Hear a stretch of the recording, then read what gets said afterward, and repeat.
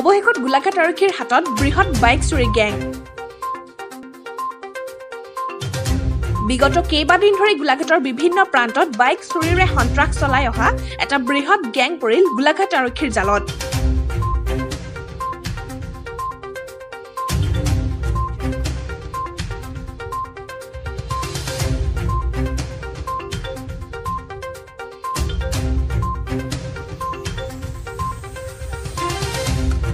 গোলাঘাট আৰক্ষীয়ে এক অভিযানৰ ভিত্তিত যোৰহাটৰ এটা অঞ্চলৰ পৰা গুডু দাস ওৰফে গেৰেলা আৰু পাৰ্থ কলিতা ওৰফে বিস্কুট বা টিংকু নামৰ দুই গভাত চোৰক আটক কৰে।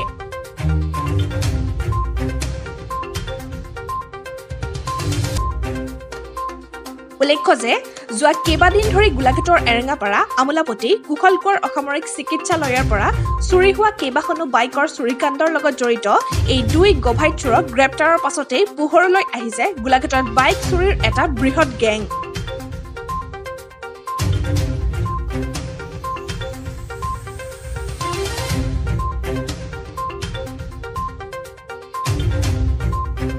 গোলাঘাটৰ পৰা নাগালেণ্ডলৈ নিয়া হয় চুৰি বাইকসমূহ। মঙলবাৰে গোলাঘাটৰ উপ আৰক্ষী অধীক্ষকৰ নেতৃত্বত আৰক্ষীৰ এটা দলে চুৰিকাণ্ড সংঘটিত হোৱা বিভিন্ন স্থানত চলাই অভিযান। দুই গভাই চোৰে চুৰিকাণ্ডৰ সমগ্ৰ বৰ্ণনা দিয়ে আমাৰ কেমেৰাৰ আগত। উল্লেখ্য যে গেৰেলা আৰু বিস্কুট নামৰ দুই চোৰে চুৰিকাণ্ড সংঘটিত কৰি মেৰাপানীৰ চন্দন দাস ওৰফে সৰু ল'ৰা আৰু মিণ্টু দাসক গতাই দিয়ে। আৰু সেই দুই সৰবৰাহকাৰীয়ে চুৰি বাইকসমূহ বিক্ৰী কৰে নাগালেণ্ডৰ বিভিন্ন প্ৰান্তত।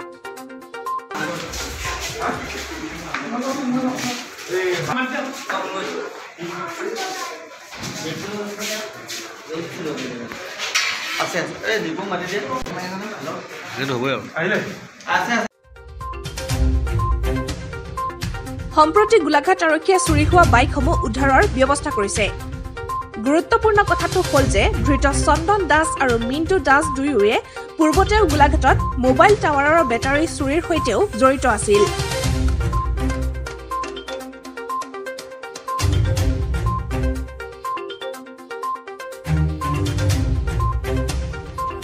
ইতিমধ্যে লাষ্ট এই এসপ্তাহ দহ দিনত যি ইয়াত ধৰি লওক এই বিশেষকৈ বাইক চুৰি কাণ্ডটো সংঘটিত হৈ আছে এইটো এটা স্পেচিয়েলাইজ গেং আছিলে আৰু এইটো যোৰহাটৰ হয়। এই ক্ষেত্ৰত আমি যোৱাকালি ৰাতি এটা অপাৰেশ্যনত যোৰহাটৰ পৰা দুজন মানুহ উঠাইছোঁ। তাৰে এজন এইজন এইজনৰ নাম হৈছে গুড্ডু দাস তেখেতৰ আৰু এজন একমপ্লিচ আছে। তেখেতৰ নাম পাৰ্থ কলিতা। ওৰফে বিস্কুট বুলিও কয় টিংকু বুলিও কয়। তেওঁলোক দুজনে বাইকখন একচুৱেলি পিক আপ কৰে চুৰ কৰে। আৰু তেওঁলোকে দিয়ে receiver of store and property বাকী আৰু দুজন মানুহ আমি পিক আপ কৰিছোঁ মেৰাপানীৰ পৰা চন্দন দাস চন্দন দাস আৰু মিণ্টু দাস।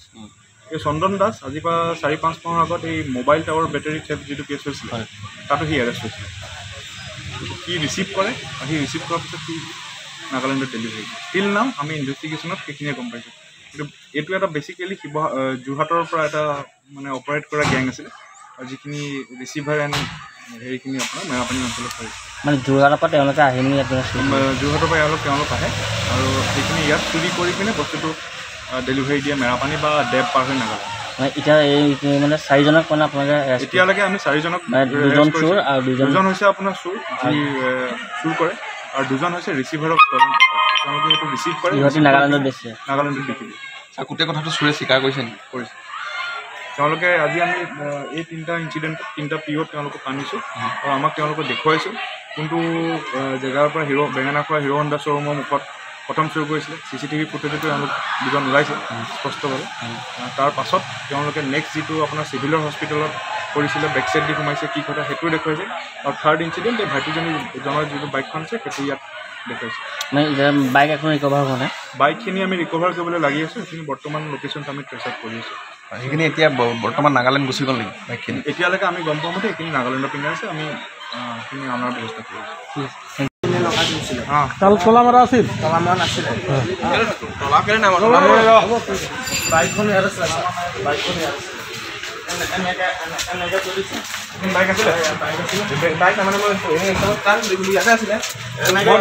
বাইকটো এইখিনিত আছিলে বাইক এইখিনিত আছিলে